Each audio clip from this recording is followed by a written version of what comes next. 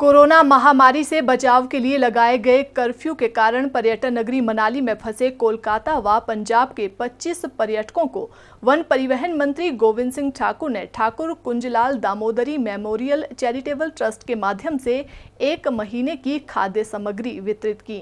गोविंद सिंह ठाकुर ने कहा कि इस विकट स्थिति में कोई भी गरीब व जरूरतमंद सुविधाओं से वंचित न रहे, ये सुनिश्चित करना ट्रस्ट का मुख्य उद्देश्य है।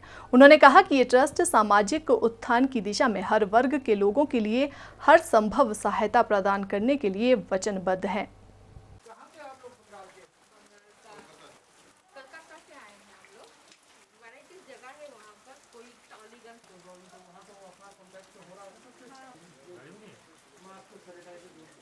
जो पर्यटक यहाँ पर आए थे और बहुत से लोग ऐसे हैं कि जो जब लॉकडाउन हुआ और कर्फ्यू लगने के कारण से वापस घरों को जा नहीं पाए। और हमने ये कहा है कि उनके लिए भी हर प्रकार की सुरक्षा सुनिश्चित करना आवश्यक है। और इसलिए अभी हमने ये भी कहा है कि भाई जहाँ जहाँ पर हमारे यहाँ के होटल व्यवसायी हैं, जिन जगह पर ठहरे हैं तो वो उनको रहने का अरेंजमेंट तो उन्होंने अपने कर दिया है। और भी कई लोगों ने अपने घरों में उनको रुकने का व्यवस्था की है।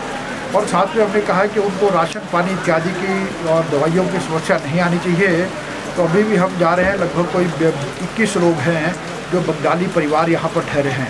तो उनके पास जो है, वो राशन इत्यादि की समस्या लगता है तो अभी उनको भी जा कर के हम Thakur Kunjlal, Damodari Thakur memorial charitable trust की ओर से जा कर के एक महीने का राशन दे रहे हैं और कोई दवाइयाँ इत्यादि की व्यवस्था कर रहे हैं। तो जो भी कोई और भी कोई आवश्यकता वो करेंगे ताकि ये सिम्बॉलिक है, ताकि हर जगह पर। और मैं सभी का यहाँ के अपने लोगों का और यहाँ की जनता का धन्यवाद करता हूँ कि ऐसे समय में सबके सब सामाजिक संस्थाएँ हैं, चुने प्रतिनिधि हैं, सब लोग मिलजुल करके ऐसे में चैरिटी करने के लिए आगे आ रहे हैं। सिटी चैनल के लिए मनाली से शिवराम राणा की रिपोर्ट।